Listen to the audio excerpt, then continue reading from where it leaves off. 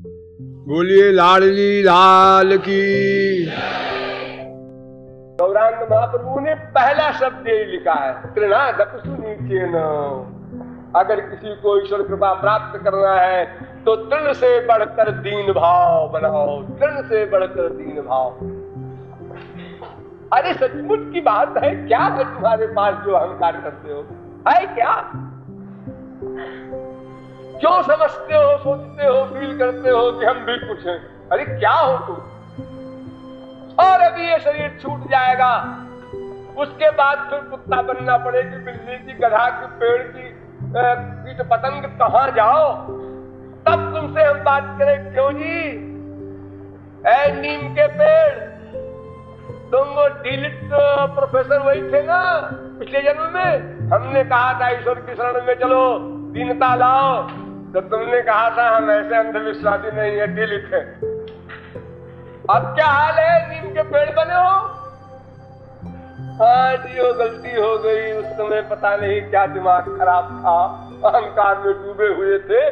श्याम सुंदर के आगे भी दीन नहीं बन सकते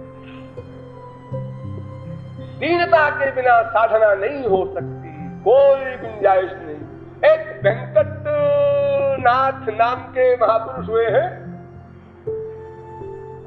वो वेंकटनाथ ईश्वर की ओर जब चलने लगे, बड़े आदमी थे और जोरदार आगे बढ़े तो तमाम विरोध हुआ। सभी महापुरुषों के प्रति होता है। तो उनके विरोधियों ने उनके आश्रम के गेट पर एक जूते की माला बनाकर टांग कि नशे में तो चलते ही है, उनके सिर में लगेगी तो हम लोग हंसेंगे जूता सिर में लग रहा है तुम्हारे वो अपना बाहर से भीतर नेचुरलिटी में जा रहे थे।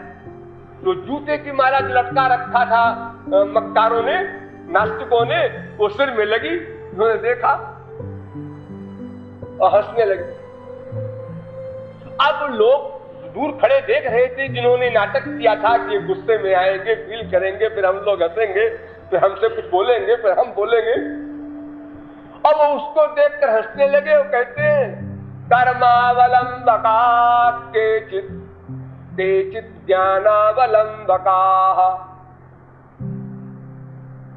कुछ लोग कर्म मार्ग का अवलंब लेते हैं, कुछ लोग ज्ञान मार्ग का अवलंब लेते हैं अभयम तो हरिदासा नाम पाद रक्षावलंबका और हम तो भगवान के जो दास हैं, वो उनका जो पाद रक्ष है, जूता सौभाग्य से हमको मिल गया हमारा इसी से काम बन जाएगा। हम क्यों कर्म ज्ञान भक्ति के चक्कर में पड़े? अब विरोधी लोग देखें अरे ये तो उल्टा हो गया। मैं तो समझ रहा था गुस्सा करेगा, फिर बात बढ़ेगी, फिर हम लोग भी अपना रात दिखाएँगे, गाली गलौज होगी। ये तो कहता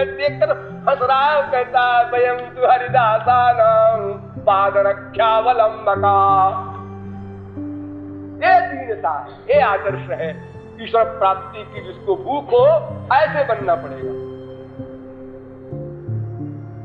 सुकरात एक बहुत बड़े हुए फिलोसफर आप लोगों ने नाम सुना होगा।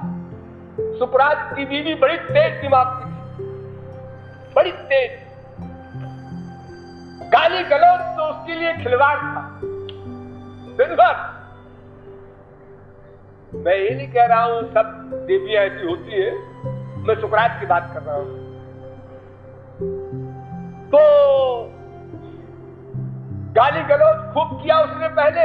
वो हँसते रहे अपना सुकरात क्योंकि वो जानते थे कि इसमें तीन गुण का रोग लग गया है, इसको बेचारी को तो अपना इससे परेशान हो रही है अपने आप मिला वजह